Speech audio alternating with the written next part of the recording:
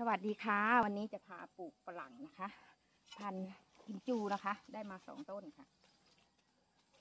ดินอยู่นี่มันจะเป็นดินทรายนะคะ ดินไม่ค่อยดีค่ะเราต้องมาปรุงดินก่อนนะคะ ไม่ต้องฝังลึกค่ะนะคะดินก็ประมาณ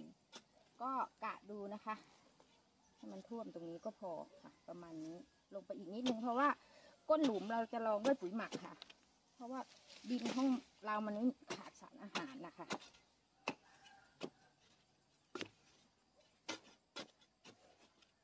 ผ่านมาเราปลูกเราก็ไม่ได้ฝังลึกค่ะ บางคนเขาก็จะเอาปุ๋ยคอกใส่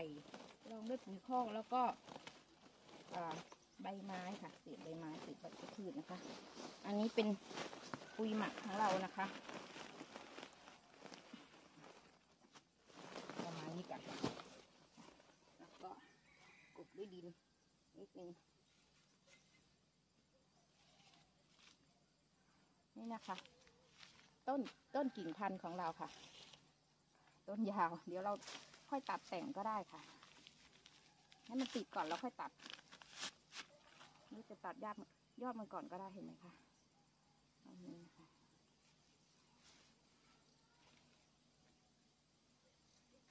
เป็นเสียบกิ่งนะคะ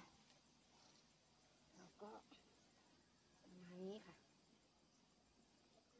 ปลูกง่ายๆค่ะ อยบำรุงเอาค่ะ เพราะดินเรา มันเป็นดินที่เป็นดินทรายค่ะส่วนมากไม่ใช่ดินดีอะไรนะคะ ถ้าเรามีกระมังเก่าอย่างนี้นะคะ ที่ชำรุด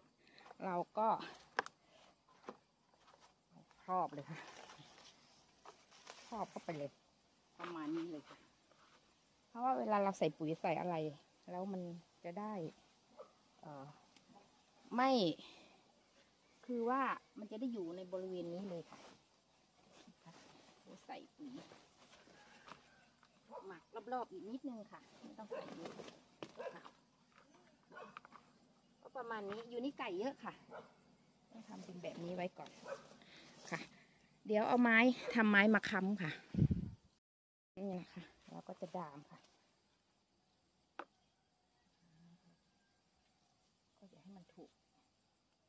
ตรง ประมาณนี้ค่ะ เพราะว่าเวลาลมพัดมันจะได้ไม่ไม่ไหวค่ะ ตรงรากมันจะได้ไม่เคลื่อนไหว มันจะได้รากมันจะได้ออก เอ่อหมายความว่าเวลามันออกรากแล้ว ถ้ามันเคลื่อนไหวขยับขยื่นรากมันก็จะจะขาดค่ะ มันจะเจริญเติบโตช้านะคะ หรือว่า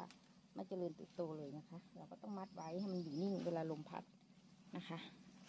เดี๋ยวหาเชือกมาผูกค่ะ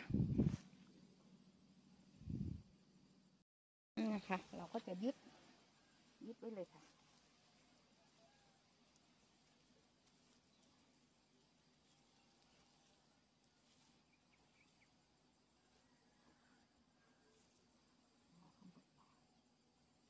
ยึดไว้ก่อนค่ะ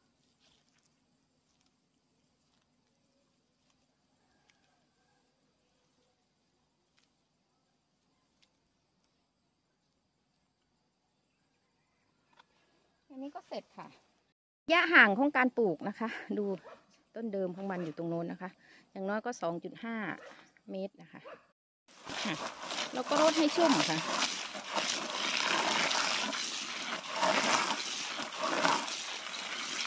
พอดีวันนี้ฝนตกนะคะประมาณนี้ก็พอค่ะรดอย่างน้อยก็วันละครั้งนะคะ นะคะ จะให้ดูที่เราปลูกประมาณสองอาทิตย์แล้วค่ะ ติดติดแล้วเห็นไหมคะ แทงยอดแล้วค่ะ เราก็ปลูกง่ายๆนะคะ ค่ะสำหรับคลิปนี้ก็พามาดูกันปลูกฝรั่งนะคะ ปลูกแล้วเป็นยังไงได้ผลยังไงนะคะอะนี่ก็ต้นต้นที่เราเพิ่งปลูกค่ะ อันนี้ก็เราปลูกประมาณเกือบสองปีแล้วค่ะรับรองว่า ปลูกแบบนี้แค่เราบำรุงเอาค่ะดิน ถึงเราดินเราไม่ดีก็เราก็บำรุงดินเอานะคะ มันก็ออกลูกออกผลเหมือนกันค่ะ ดินทรายดินเหนียวจะปลูกคล้ายๆกันนะคะ คือแล้วไม่ขุดหลุมลึกค่ะ แค่ว่าเราปรุงดินแล้วก็เอาเศษใบไม้หมักนะคะ มาคลุมปลูกแล้วก็คลุมนะคะ คลุมต้นเอ่อถ้าใครมีดิน